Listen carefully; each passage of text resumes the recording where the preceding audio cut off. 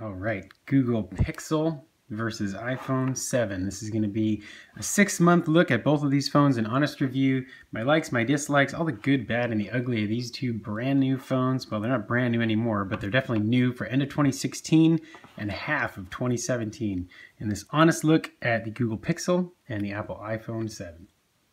So jumping right in, you may wonder why I haven't done any official reviews of both of these devices independently, and that's mostly because these are both top-of-the-line devices from both manufacturers. Um, this is Google's first entry into the smartphone market, but they've done so with both feet. They've jumped right in to producing a top-of-the-line phone. Apple always produces top-of-the-line phones, uh, and so this is their latest iteration of their Apple iPhone. But because of that, they've I've sort of reserved this video to a side by side. I think a lot of people are going to be interested in these phones or are interested in these phones um, and are trying to decide which one they should get. And after having used both of these phones over the last few months, I can give you an honest look at which one's better, which one uh, is the best phone to have, which one's the best phone to own if you're undecided on both of these. And so what we'll do is we'll talk about the hardware first. I'm just going to go ahead and turn the screens off on both these guys.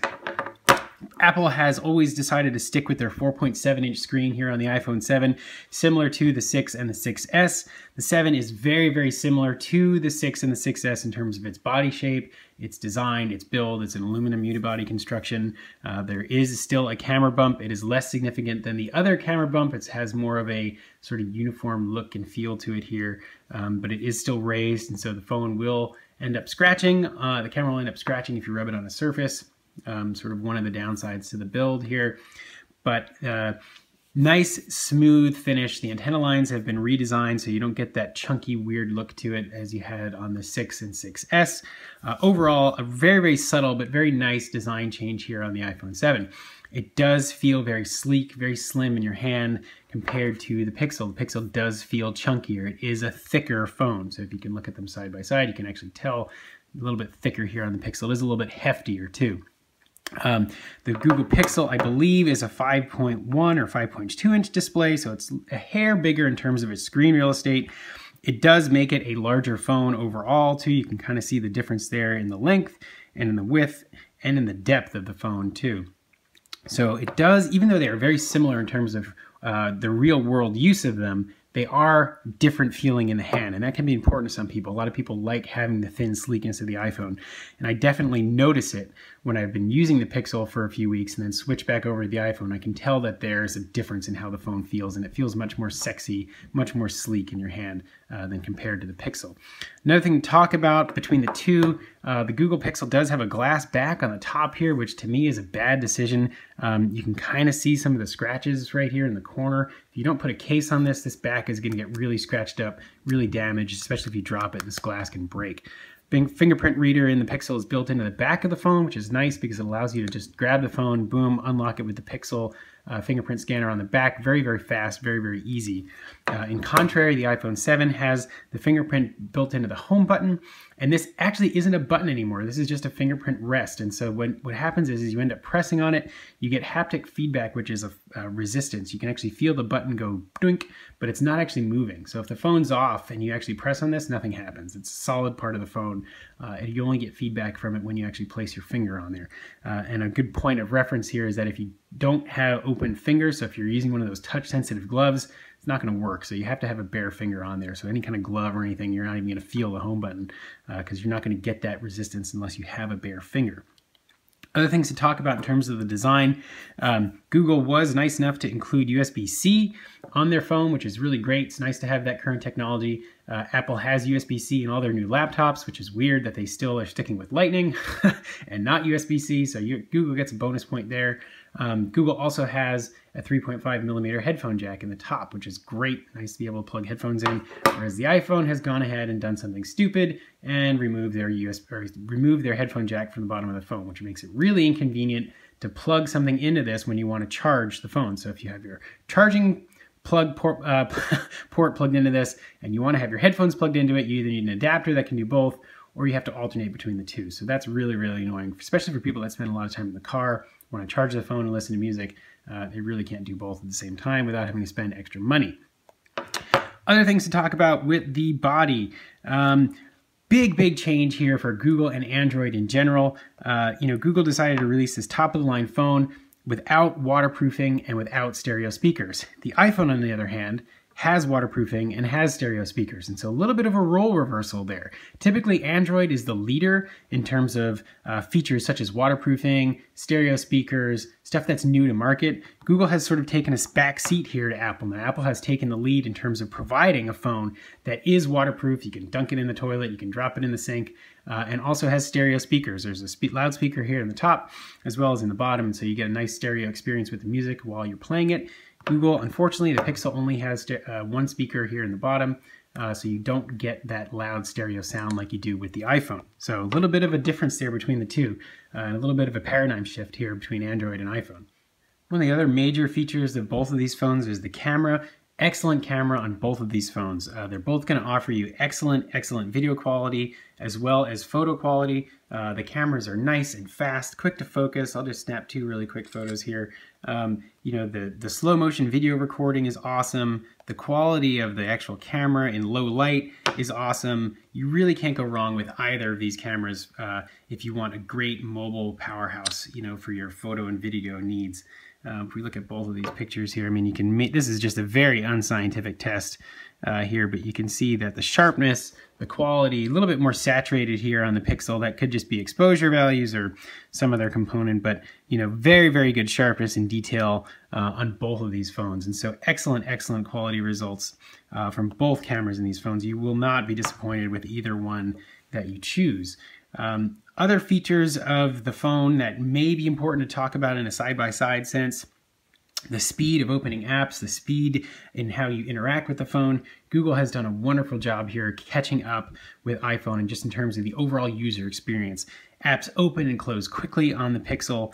Everything seems lightning fast, very, very little delays with anything. Uh, we'll just go ahead and we'll, we'll do something like launch Instagram here. I'm just gonna take this phone off airplane mode uh, just to make sure that we get a signal here. And uh, we'll just show you guys a side-by-side -side of um, what it was, what it would be like here to launch an app. We'll just get rid of that, get rid of that, getting all these notifications. Um, and we'll launch Instagram on both of these. And we'll go back, and we'll go back, and we'll just do that. Go home, go home. So you can see that uh, both apps launch quickly, they both load quickly. It doesn't feel slow on either of these. You don't run into any software glitches with Android anymore. Google's done a really great job with in terms of loading, uh, in terms of its software and how good it feels, how quick things load, how fast everything feels on this phone. And like I said, they're they're like that together. They're both really really solid phones in terms of the software and the user experience. Other things to talk about are the price and the networks. Um, these phones are basically the same with their price, you know, 32 gig and 32 gig starting uh, sizes. I believe it's $650 for the iPhone and around $650 for the Pixel. That may change depending on how prices shift in the market. Um, but overall, you're getting a premium phone at a premium price. Gone are the days of the inexpensive Nexus phones from Google, uh, now replaced with a higher end Pixel phone and the higher end Pixel price to go along with it. Uh, network wise, they're both unlocked. You can buy these phones. The individual models will work on any carrier in the United States. Um, this typically has been advertised as only working on Verizon, but that's false. You can use this on anything. It has the radios to work on uh, Straight Talk, on T-Mobile, on you know Ting, uh, all the MNVNOs, uh, all the third-party carriers. I, I'm using mine on Total Wireless, which has been working great uh, Verizon, Sprint, AT&T, you know, etc. Uh, both phones fully support LTE and fully support networks in the United States. Um, internationally, that may be different. I know the iPhone has a lot of sort of third-party radios that work around in different parts of Asia um, and Africa that have different LTE systems. I can't speak for Google in terms of those radios. You'd have to check the specs. But for North America, um, you're getting basically the same phone in terms of what networks it will support. Pricing wise, I just mentioned both top of the line, both very expensive phones uh, what you're paying a premium for.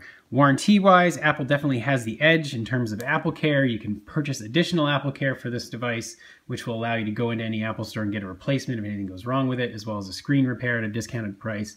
Uh, Google, you will definitely have to send the phone in and back to Google if you have any issues with it, which can keep you without a phone for several days up to several weeks um, if you're having any issues. So Apple Care definitely a better feature to have uh, from Apple for your iPhone. Other things to think about in terms of whether or not you should choose one of these phones.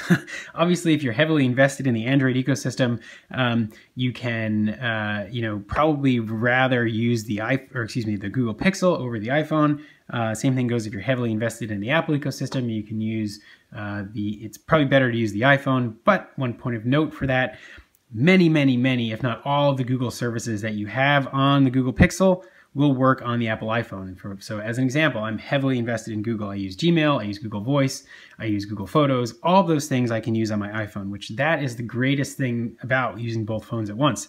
Um, I can jump between the iPhone and between my Android seamlessly. I have no problem transitioning because I use Google Voice, so my calls will go between either. Uh, Google Photos will back up my pictures on each device, regardless of which one I use. Um, Obviously, all my apps are synced between both phones, Facebook, Instagram, that kind of thing. Uh, and the other great thing is that um, popping the SIM out between phones is really, really easy. Piece of cake. Don't have to call Verizon or excuse me, Total Wireless. Don't have to do anything. Just switch switch phones, no problem. Um, so you know, you guys can be sure that this is an honest review that I've you know used these phones, uh, you know, day in and day out over the course of the last few months. Um, and if I had to choose, so we'll close and say if I had to choose which one would I pick overall, it'd probably be the Android, the Google Pixel, um, mostly because I like the ability to set default apps. I like having the sort of openness um, of Android where I can tweak things if I decide to. I really don't have a need to do that anymore in terms of like custom ROMs and that sort of thing. But I just like having the ability to have new software, you know, the latest and greatest uh, features that Google likes to put into their builds. Um, Apple's definitely more conservative in that approach. They definitely like to take their time with, with uh, deploying new software features and new things down the road. So it doesn't necessarily mean the iPhone feels old. Um, it's just a slower road to get there uh, when you compare it to the things that Google are doing. So hope you guys enjoyed this little honest side-by-side -side of these two phones. Uh, check out everything else I have on YouTube and rate, comment, and subscribe. Thanks.